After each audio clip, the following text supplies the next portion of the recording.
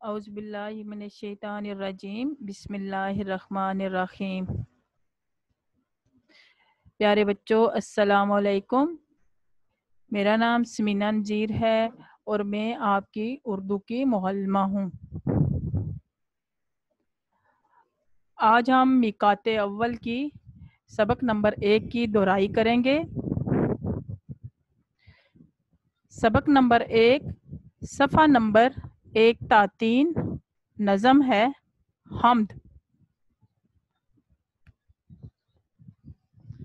हमद ऐसी नज़म को कहते हैं जिसमें अल्लाह ताला की तारीफ़ बयान की जाए, अल्लाह ताला की नियमतों का एतराफ़ किया जाए, अल्लाह ताला की नियमतों का शुक्र अदा किया जाए। हमद नज़म के शायर का नाम है इस्माइल मेठी। क्या नाम है? इस्माइल मेठी। कोई भी नज़म, गज़ल, गीत या नगमा वगैरह लिखने वाले को शायर कहा जाता है।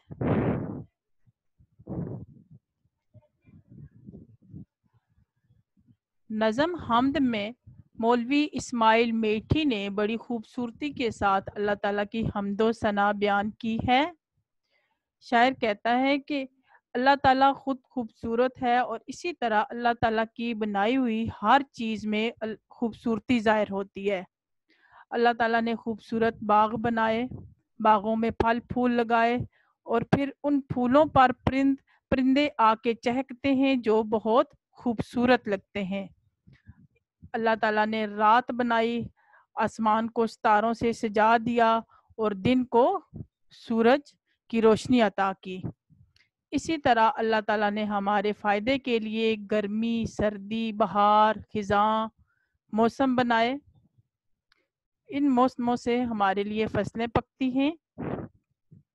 यानी अल्लाह ताला ने जो भी चीज़ बनाई है, वो इंसान के फ़ायदे के लिए बनाई है। अब इंसान का फ़र्ज़ है कि वो इन नियामतों का शुक्र अदा करे। अल्लाह ताला हर चीज़ पर कादर है। हर, यानी वो कुदरत रखने वाला है।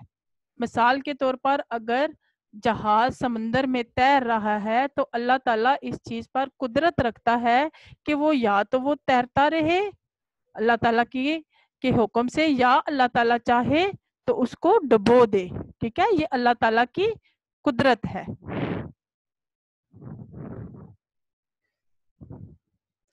मुश्किल अल्फाज और उनके मानी ठिठकी।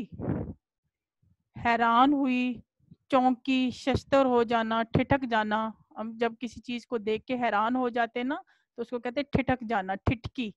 जाड़ा, सर्दी का मौसम, खुशनुमाई खूबसूरती, रुत, मौसम, रोशन, उजला, साफ़, पुरनूर, समा, मंजर, अजब, अनोखा, कुदरत, अल्लाह ताला की ताकत, शान, कादर, हर चीज़ पर कुदरत रखने वाला, कवि मज़बूत, ताकतवर, नादिर, उम्दा, निगाह, नज़र। नज़म हमद का मरकज़ी ख्याल। मरकज़ी ख्याल यानी सेंट्रल आइडिया शायर ने इस नज़म में क्या बात बयान की है? शायर का ये नज़म लिखने का मकसद क्या है? मतलब क्या है? ठीक है?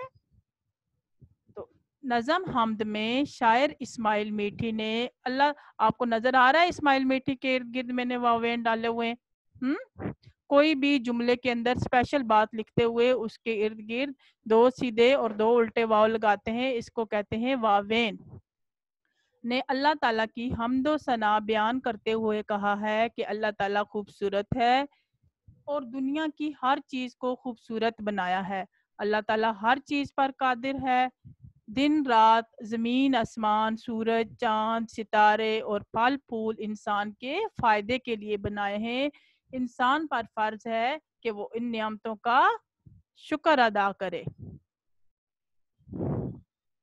अब आते हैं इसकी मश्क की तरफ़। सवाल जवाब रात को आसमान पर क्या चमकते हैं? जी बच्चों, आप सबको पता है ना? रात को आसमान पर सितारे चमकते हैं। हमद में शायर ने कितने मौसमों का ज़िक्र किया है? हमद में शायर ने चार मौसमों का ज़िक्र किया है। जाड़ा, गर्मी, बहार, बरसात।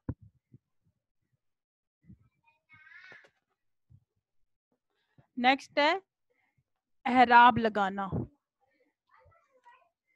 आपकी दरसी किताब में सवाल नंबर चार है दर झैल अल्फाज पर एहराब लगाएँ।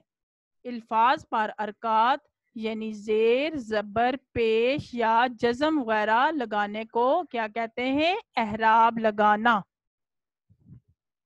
अल्फाज हैं आपके पास, खुदा खे पेश खू दाल, जबर, अलिफ, दा, खुदा, ज़ाहिर, जो जबर, अलिफ, जा, हे, जेर, हिर, ज़ाहिर, कुदरत काफ पेश दाल कुद, रे जबर ते रत कुदरत।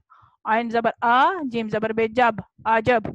निगा, नून जर नी गाफ जबर गा, हे साकिन निगा।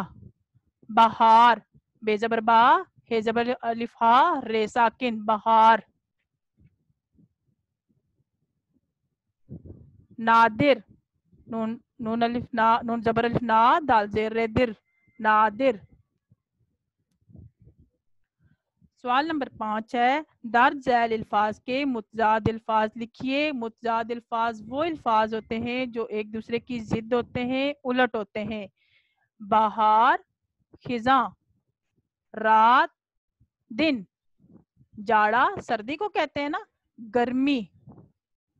खुशनुमाई, खूबसूरती, बदनुमाई। बद बुरे को कहते हैं, ठीक है? बदसूरती यानी के।